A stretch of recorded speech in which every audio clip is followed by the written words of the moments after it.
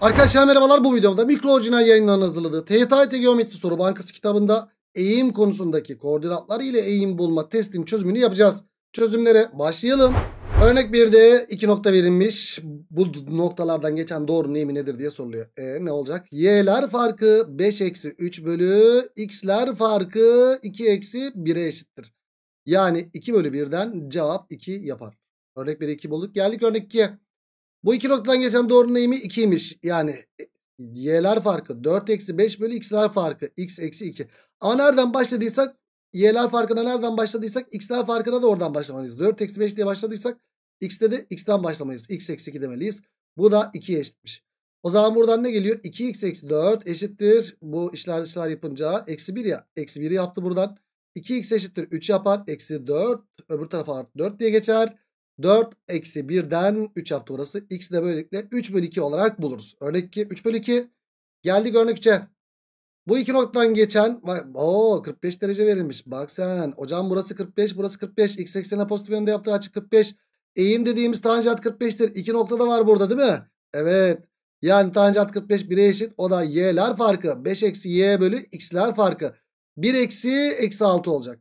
O zaman burada bu 1 eşittir 5 eksi y bölü 1 artı 6 yapar bu. O da 7 yaptı. İşler dışlardan 7 eşittir 5 eksi y yapar. O zaman y'yi buraya 7'yi buraya.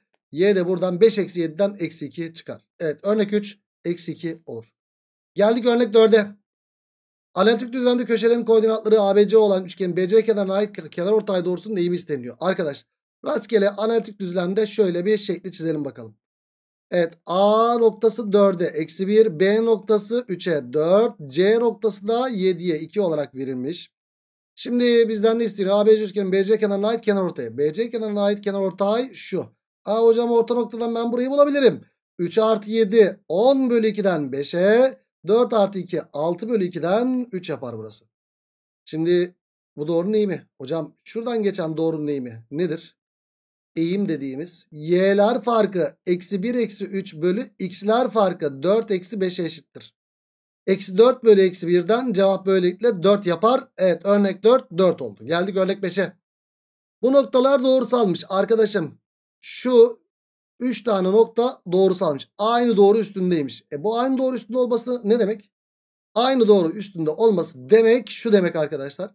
Şu ikisinin eğimiyle bu ikisinin eğimi aynı doğrunun eğimini verecek. Yani eğim AB ile eğim BC birbirine eşit. Hatta eğim AC de birbirine eşit diyebiliriz.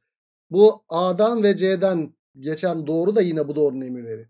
O zaman ben şu ikisine bakayım. Eğim AB y'ler farkı 4 eksi 2 bölü x'ler farkı 2 eksi 1 eşittir.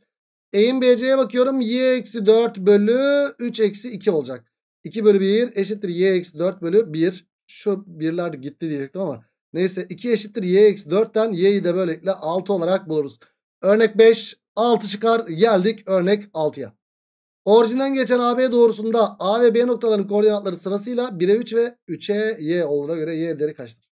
Hmm. Orijinden geçiyormuş arkadaşlar. Bak şöyle orijinden geçen bir şey var. 0 0'dan geçen bir şey.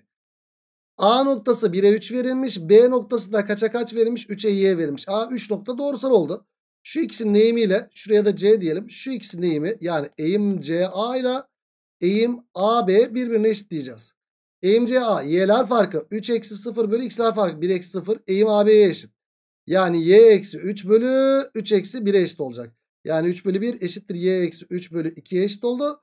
6 eşittir y eksi 3 oldu. Y'yi de buradan kaç bulduk? 9 bulduk. 6. soru böylelikle 9 çıkar ve böylelikle bu testi bitirmiş bulunuyoruz. O zaman ne diyoruz? Bir sonraki testimizde yani özel doğrularda eğim testinde görüşmek dileğiyle. Kendine iyi bak. Hoşça kal.